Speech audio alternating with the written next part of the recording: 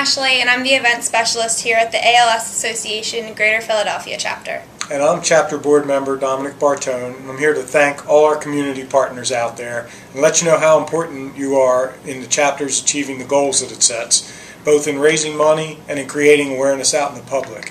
And that's the financial side of things. On the personal note, I'm also proud to be a community partner myself in memory of my brother Michael, and it inspires me when I see personally all the community partners out there and the family members and the friends and the associates all fighting for someone they loved who was afflicted with ALS and supporting the chapter and all the good work that we do.